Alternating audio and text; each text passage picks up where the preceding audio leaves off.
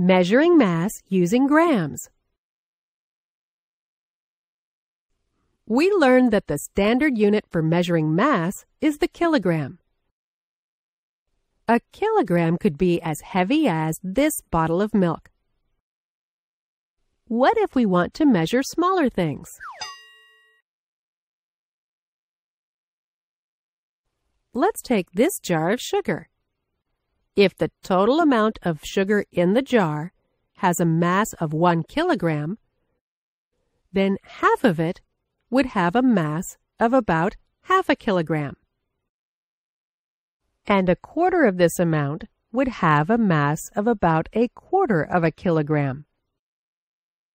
But sometimes we need to measure even smaller masses. Another unit for measuring masses that is smaller than the kilogram is called the gram, written like this. How heavy is one gram?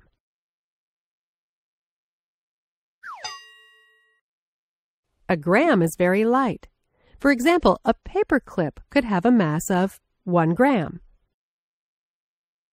We can measure different masses, like that of a pencil, which has a mass of about 5 grams. Or a can of corn, which can have a mass of about 250 grams.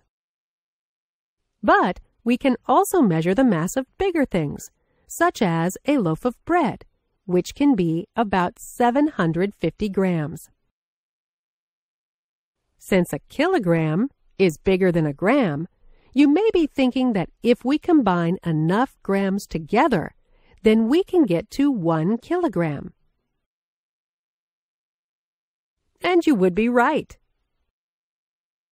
Let's use this balance to see how many grams we need until the arrow points to one kilogram. So we put more and more grams on the balance.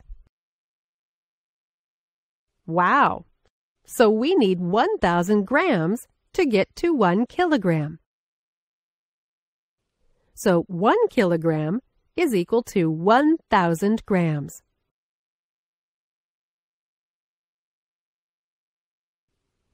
In this lesson, you learned about the gram as a smaller unit for measuring mass.